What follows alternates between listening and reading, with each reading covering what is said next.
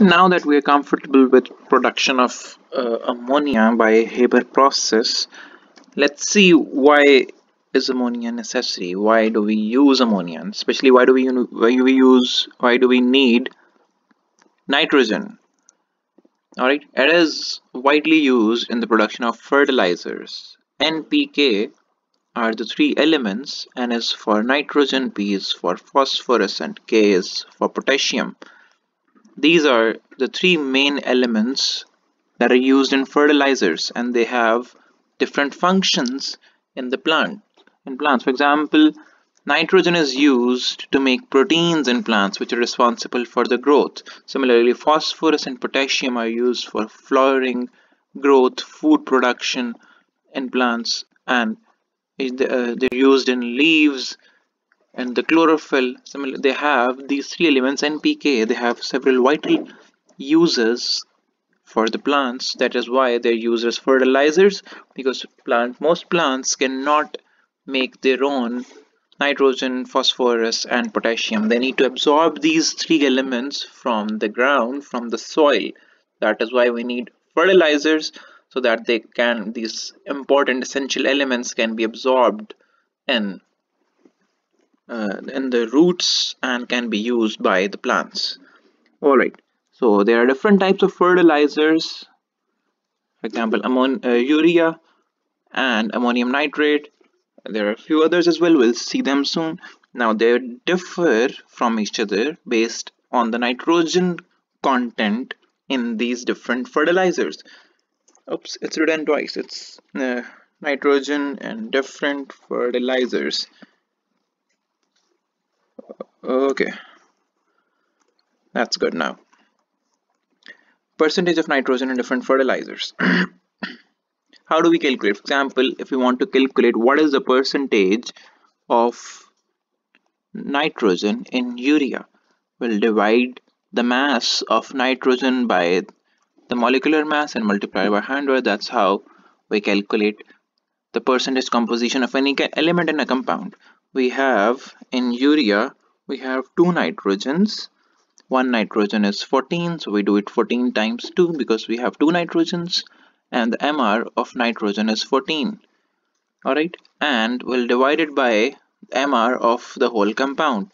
We have two nitrogens 14 times 2 we have four hydrogens. Hydrogen is 1 so 1 times 4 we have 1 carbon. Carbon is 12 so we'll do 12 times 1 and we have one oxygen which is 16 times 1 times 100 when we'll do the maths we'll end up with 28 upon 28 plus 4 plus 12 plus 16 which is 60 and this gives us 46.67 percent. Now this means that 46.67 percent of urea is nitrogen Alright, we need to know these calculations so that we do not add less amount of fertilizer or we do not add more amount of fertilizer. More amount of fertilizer is also bad for the environment uh, and the less amount is obviously bad, uh, not good enough for the plants. Why is more amount of fertilizer bad for the environment? This is because excess of fertilizer it leads to a condition it leads to an environmental condition called eutrophication. Now what is eutrophication? Eutrophication is that you must have seen it as the green layer or the greenish algae that is uh, developed in this in the lakes or in the ponds or the green layer the top layer that floats on the surface of uh, stagnant water that is eutrophication. All right so what happens, why is it bad? Because when eutrophication occurs, it prevents sunlight from entering the water. Alright, when sunlight won't enter, the vegetation under the sea plants or the plankton, it will die. Also, the green algae that is formed, it will consume all the oxygen that is beneath. Uh, it consumes the green algae, it will consume all the oxygen or the most of oxygen from the water. Alright so the fish will die because of lack of oxygen. They will not have enough oxygen for the breathing or for respiration. So because it will be blocked by uh, the algae the layer of algae that grows over the surface of water. All right that is why eutrophication is bad. How does uh, the fertilizer uh, goes to the soil uh, from, goes from the soil to the water. That is if there is excess fertilizer on the land then either it will be absorbed by the soil and eventually it will uh, join the lakes it will go to the lakes or the ponds or it will be wiped off by the rain. And there will be rain the rainwater will wipe off the fertilizer from the soil and it will bring this excess fertilizer to the ponds and the lakes. And when this fertilizer because fertilizer is food for plants. Now that when this fertilizer will go when this fertilizer will be added into the plants it will promote the growth of uh, algae. The fertilizer will promote the growth of uh, algae on the surface of water hence it, it leads to eutrophication. Alright? Now there are some special plants which have some special nodules in their roots. Alright? These nodules or the legumes these are called the legumes. These nodules will extract nitrogen directly from the air or because air is mostly nitrogen or the, the major component of air is nitrogen. So these plants can directly use nitrogen from the air and they can use it to make their proteins alright these plants are called leguminous plants and they do not need nitrogenous fertilizers because they can produce their own nitrogen the examples of such plants are peas or any other plants that have uh, the fruit which has spaces inside them. For example, peas have a structure like this. There are these bees So these such plants can uh, produce such plants with seeds, such plants with beads. They can produce, they have legumes in their roots and they can, they're called leguminous plants and they can fix nitrogen in them. They can use the nitrogen from the air and they do not need any external fertilizer for their needs of nitrogen. Here are a few examples of fertilizers, for example liquid ammonia, it is NH3, it is injected directly into the ground using some special apparatus.